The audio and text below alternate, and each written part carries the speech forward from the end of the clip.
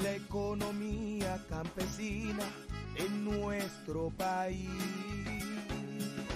El pilar para un mejor futuro construir.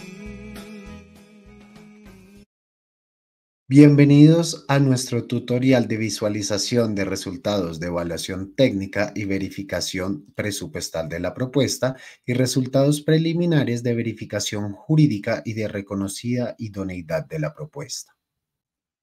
Para esto, usted debe ingresar en el link de SECOP de la convocatoria. Si no cuenta con él, el enlace lo encontrará en la descripción de este video. Una vez en SECOP, deberá bajar hasta la parte inferior de la pantalla y deberá buscar observaciones y mensajes. Ahí encontrará informe de evaluación y debe dar clic en detalle en la parte azul, el cual le arrojará una ventana emergente que debe maximizar y ahí encontrará los dos documentos, tanto la verificación preliminar de requisitos jurídicos y la evaluación preliminar técnica y presupuestal, la cual la puede descargar en versión PDF dándole en detalle o en el nombre del documento.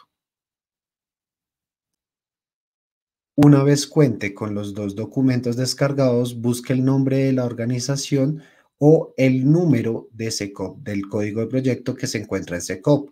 Ahí lo podrá buscar también con el buscador de texto poniendo el nombre de su asociación.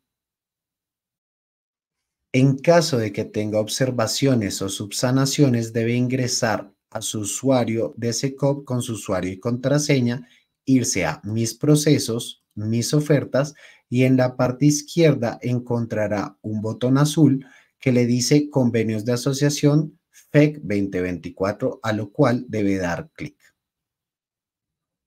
Una vez se encuentre dentro del proceso, en la parte derecha, en mensajes, podrá crear un mensaje para subsanar los documentos.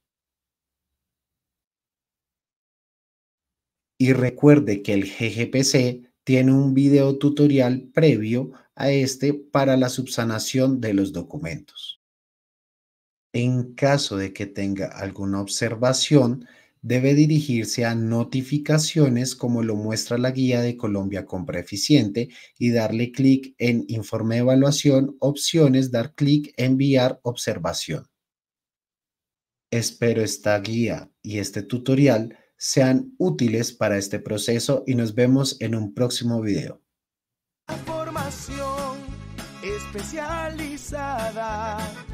Para la